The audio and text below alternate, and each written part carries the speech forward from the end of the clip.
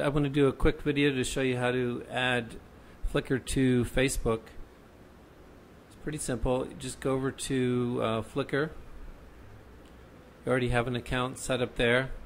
And then click on your username here right at the top.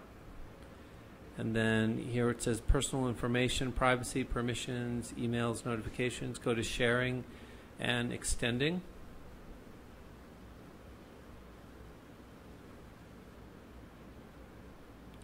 And then right here, right at the top, you just see it says connect with Facebook, so then you want to connect.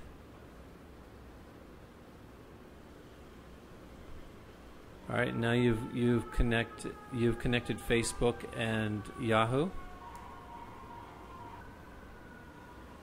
Okay, it says here Facebook activity updates on. So now we're just going to upload a picture.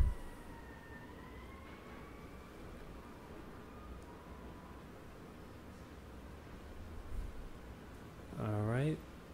And click upload the photo.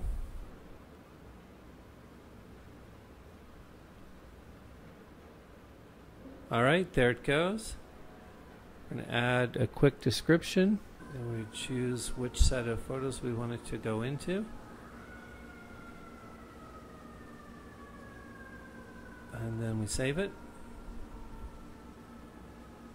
And we check back over here on Facebook a few minutes later, and there's the photo. So that's really all there is to it. I hope this was helpful.